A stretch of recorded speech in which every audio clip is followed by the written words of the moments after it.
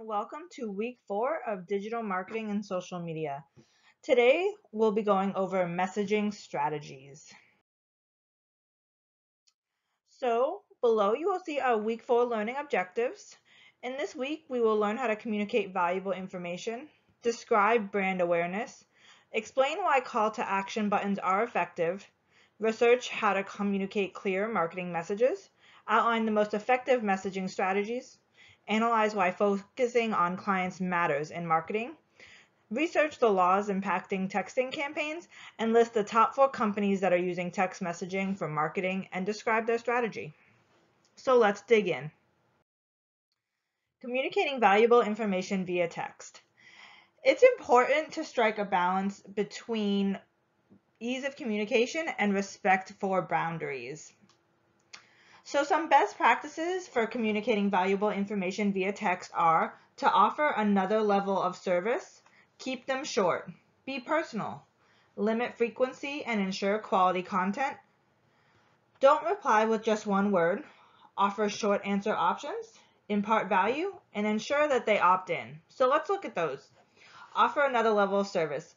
An example of this would be alerting customers about their when their order is shipped or when it's gone out for delivery. Keep your short your messages short. No one likes having to be a text message that's more than a sentence or two. Be personal. Business owners have found that text messages text message marketing works best when the texts are customized and personal. Keep in mind that if you have a huge customer base, this may not be possible, but try whenever possible. Limit frequency and ensure quality content. People like using messaging to engage with their preferred brands and products. But if you pass a certain threshold where the user perceives they are receiving too many messages, then it can become an annoyance rather than an asset. Don't reply with one word. Give the person a good reply if they are texting with you. Offer short answer options. Avoid asking detailed questions through SMS. Ask questions that have simple answers of one to three words to ensure a faster reply. If a more detailed answer or information is needed, text and ask for a good time to call. Impart value. With power comes responsibility, and because a customer opted in, it's important not to portray that trust by spamming them. Ensure they opt in. Customers may provide you with their cell phone number at any point, but that doesn't mean they granted you the right to text them. There has to actually be consent. There's have actually been a lot of lawsuits resulting from text message advertising without permissions. So make sure they have always opted in. Describe brand awareness. Brand awareness represents how familiar your target audience is with your brand and how well they recognize it. Brands with high brand awareness are generally referred to as trending, buzzworthy, or simply popular. Establishing brand awareness is valuable when marketing and promoting your company and products, especially in the early stages of a business. In a world where customers rely on extensive research and others' op opinions before making a simple purchase, brand trust is everything. Once a consumer bonds to your brand, they're more likely to make repeat purchases with little to no forethought, which then bridges the gap between trust and loyalty. Call to action buttons. A call to action button or CTA buttons are the buttons you use in your website and on your landing pages to guide users towards your goal conversion. You can see a couple examples here on the screen. It's part of the landing page that the user needs to click on in order to take the action you want them to take.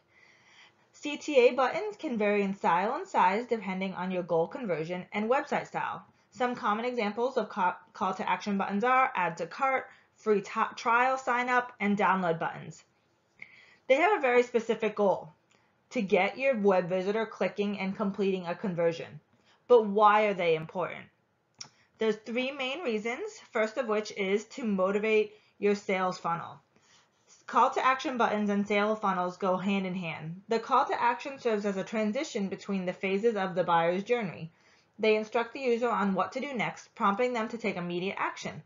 Whether you want your visitor to visit your blog, give you their contact information, download an ebook, or subscribe to an email list, you must provoke this action with a well-placed CTA button in the sales funnel.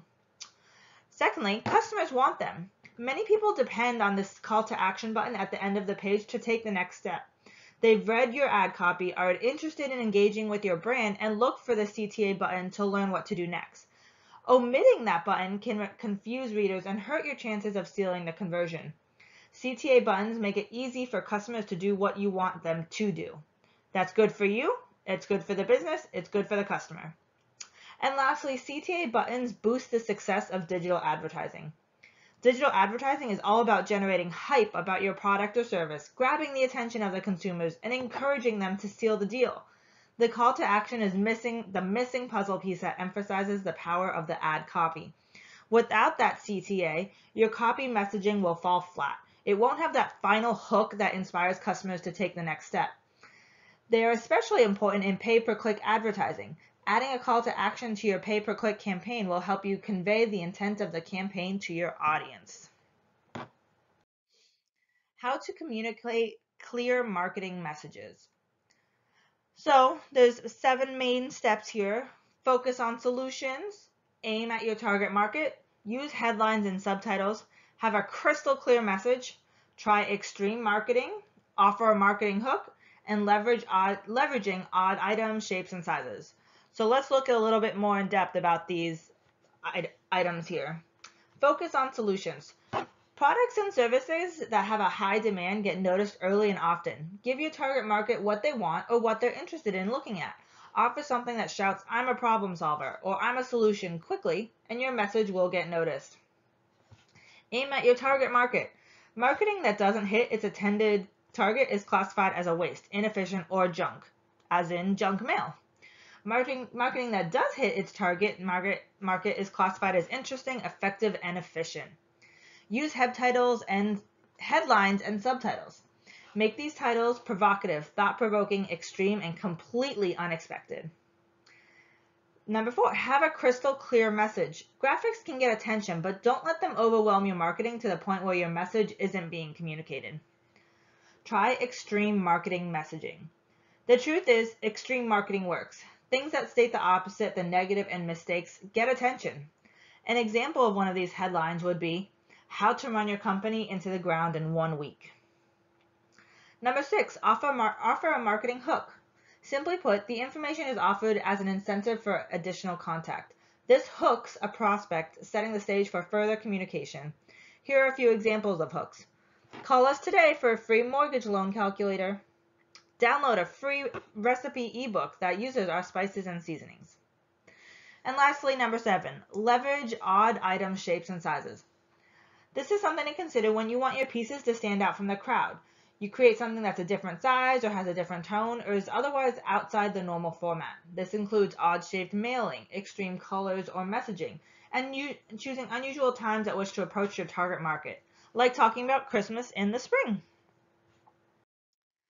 The most effective messaging strategies. Um, when you're trying to do have a messaging strategy, you want to make sure you're relevant, organized, explanatory, accurate, and grammatically correct. So let's dive into that a little bit more. Be relevant. Most forms of business communication are meant to achieve a, achieve a purpose. They must be purposeful. If you're responding to a communication, being relevant means that you're, you reply prompt, promptly, use the mode of communication requested of you, and provide the information you've been asked to provide. Be organized. Most organized messages follow a basic three-step step structure. First, introduce the goal or purpose.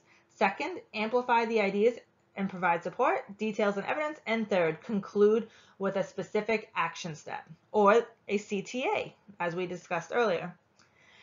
Be explanatory. Many messages falter not because people lack the knowledge base to communicate, but because they fail to dip into that base and share it with others. While it's important not to talk down to an audience, it's even more important not to, more, more important not to talk over their heads by assuming that the audience will know what you mean. Be accurate. Your message must contain sound, reliable, and current facts, statistics, and information. Otherwise, you and your message will not be taken seriously and be grammatically correct. Knowing how to write a clear, concise, and descriptive sentence take practice, and so does avoiding some of the most common writing mistakes, such as writing fragments, run-ons, non-parallel sentence structures, and using faulty punctuation. A message that has a misspelled word smacks of carelessness and cast doubt on the writer's consciousness. I know for a fact when I am looking at something and I see a grammar error or a spelling mistake, I automatically lose trust in the brand or the advertisement. The importance of focusing on your clients. A repeat customer spends an average of 67% more than a new customer, which was according to a joint report by the BIA Advisory Services. In addition to that, the fact that attracting new customers is less profitable, it's also more challenging than ever. So there's three keys to customer focused marketing. First one being catering to your customers' needs. It's important to create features in response to customer needs, but that's only half the battle. You'll never know if your customers are realizing the full potential value of your product unless you pay attention to their user behavior. Number two, increasing engagement and reducing churn rates. By working closely with your support team and monitoring online reviews, you can find more effective ways to offer value. When customers find your product more valuable now than when they first adopted, you'll dramatically reduce your churn rates. And three, increasing brand advocacy. Customers are an extremely valuable source for their brand referrals and organic promotion. However, they will only be willing to offer their value to you if you have a strong attachment to your brand. Laws impacting texting campaigns. So there's three primary organizations that weigh in on text marketing rules and regulations. CTIA, the Cellular Telecommunications Industry Association, FCC, the Federal Communications Commission, and MMA, Mobile Marketing Association. So the first thing that's important is to send a confirmation text when a new contract joins. So that would be the first step to take to make sure you're on the right side of the marketing law. When a new contract contact subscribes to your marketing list, it is common best practice to send an automatic response.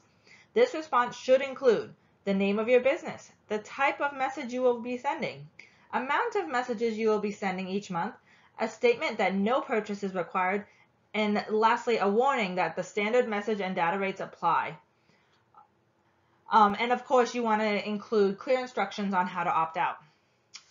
Secondly, you always want to include the fine print when promoting your text list. So you want to get in the habit of adding the following details everywhere when you post your keyword or allow people to sign up for your text or emails programs. You want to include the description of the program, the short code or phone number you will be sending from, the phrase message and data rates apply, a number of messages participants will receive, instructions on how to opt out, a link to your terms and conditions privacy policy, and contact and support information.